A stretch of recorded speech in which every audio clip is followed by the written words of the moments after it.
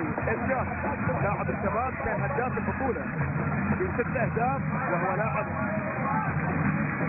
قدم مستويات. أوه! أوه! غلطة! غلطة! ما تغلط أمام نيمار! ما تغلط أمام